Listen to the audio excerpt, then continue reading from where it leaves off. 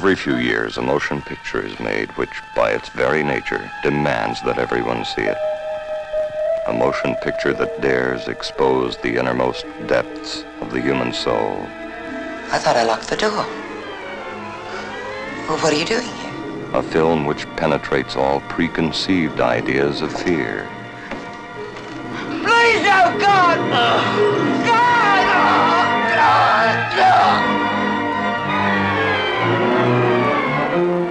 A film that explores the illusion of death.